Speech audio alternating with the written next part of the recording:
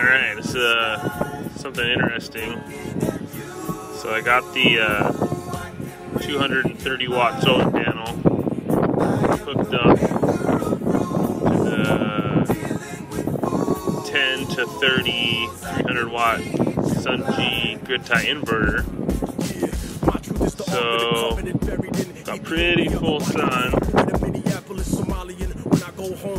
go home. The world I used to know is gone, and I will live on my own. For which I'll profit a rapper with creative control to sign a deal with um, Lose his soul, my stillborn first expression is cold. And slave masters on the paper I fold. Running the panel at under load. It's hitting you know, it's, see 12 volts, putting in 93 watts, 94 watts, almost 100 watts. So if I hook this to the 22 to 60 grid tie inverter, it'll produce twice that. Uh, here's the panel. Just lying flat on its back.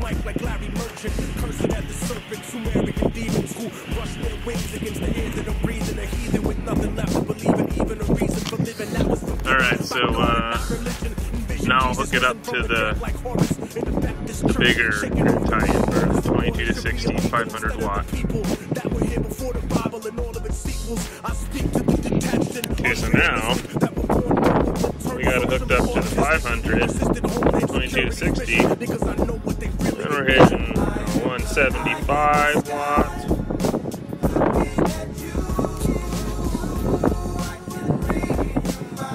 You know, we're 24 volts now.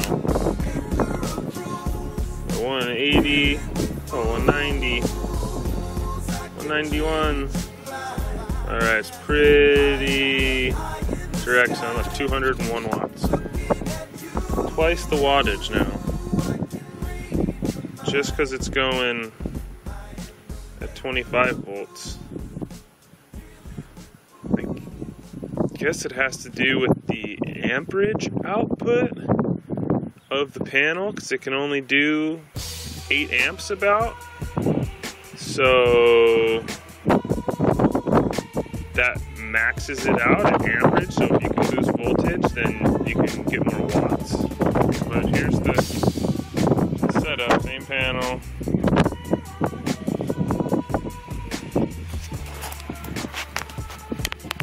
And now we're busting out twice the wattage.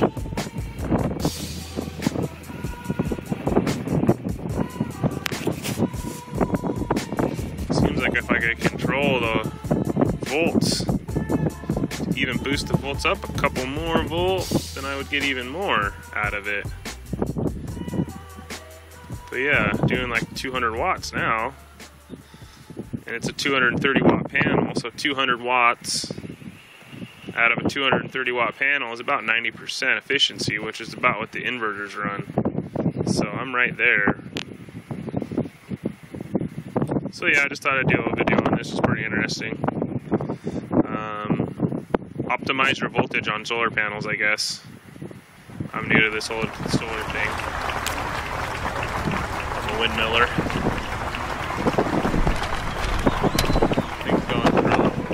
A new American revolution has begun. Not against the forces of a colonial kingdom, but a rebellion against an oppressor that has risen among us.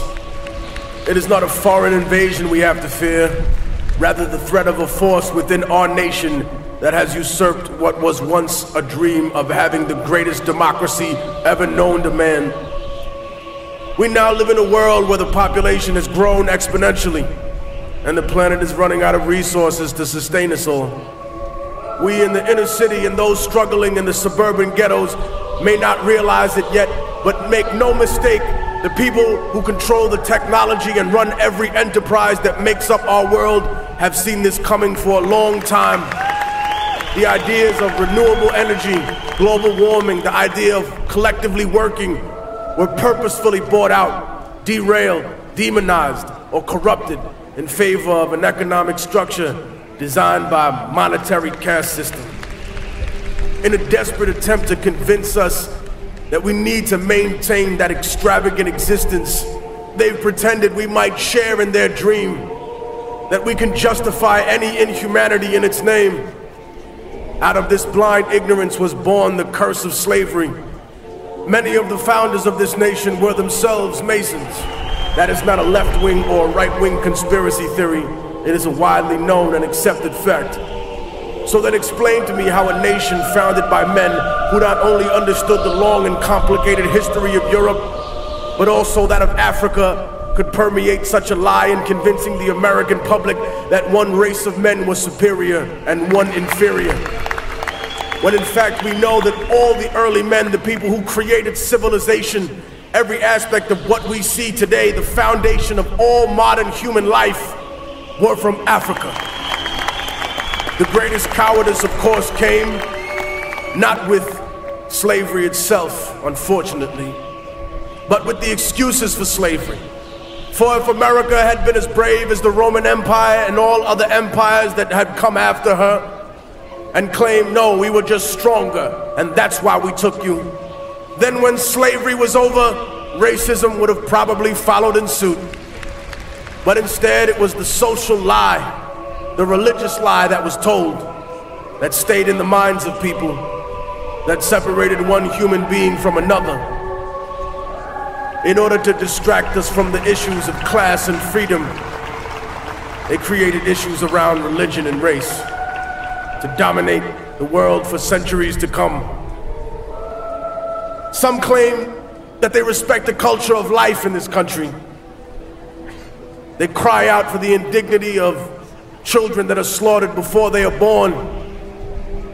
But God has not penetrated their souls, for they have no empathy, nothing in their cold hearts for the hundreds of thousands of lives we have taken in our wars overseas, for that which they call collateral damage, which are the burnt and damaged children of the world.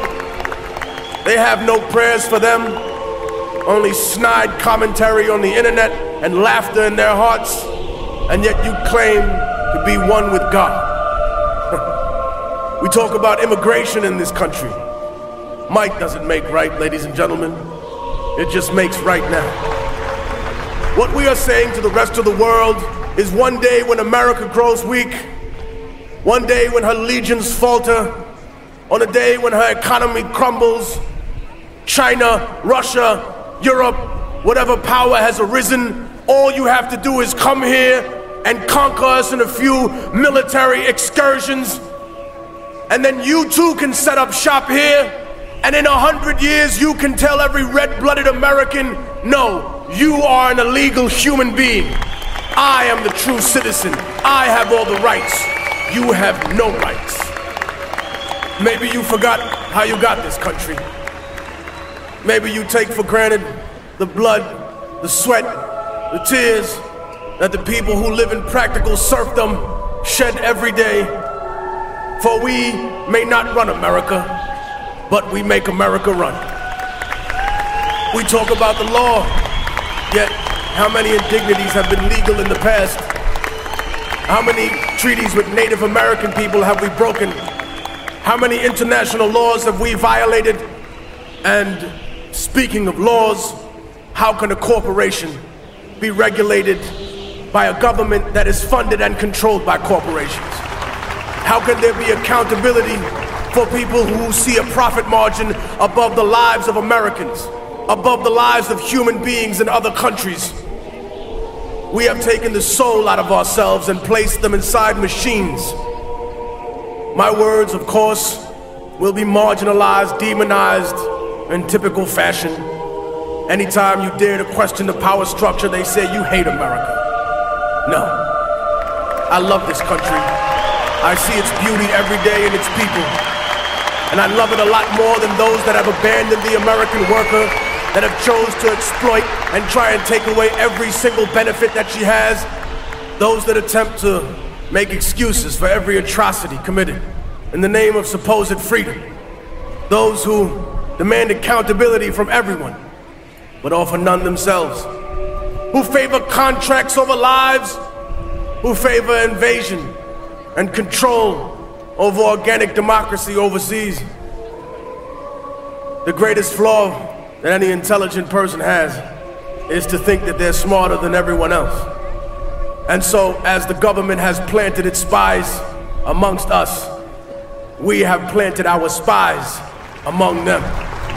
They have infiltrated every branch of the American government. They have retrieved names, data, hard numbers, the paper trail that will expose those that truly control this country, those that control the political parties, those that control the oil industry, the energy, those that stand behind the companies faceless, whose names have never been revealed until today.